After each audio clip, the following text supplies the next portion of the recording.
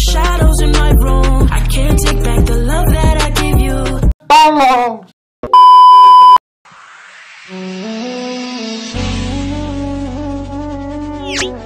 Dengerin ya cantik, seseorang laki-laki jika sudah mencintai akan terus berjuang sampai lupa bahwa dirinya tersakiti. Tetapi jika dirinya sudah merasa sangat kecewa, dia akan pergi dan takkan kembali.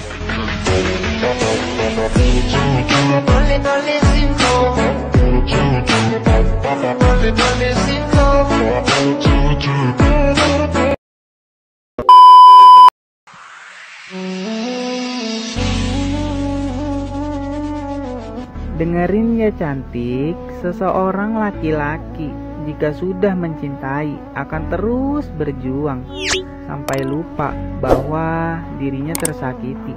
Tetapi jika dirinya sudah merasa sangat kecewa, dia akan pergi dan takkan kembali.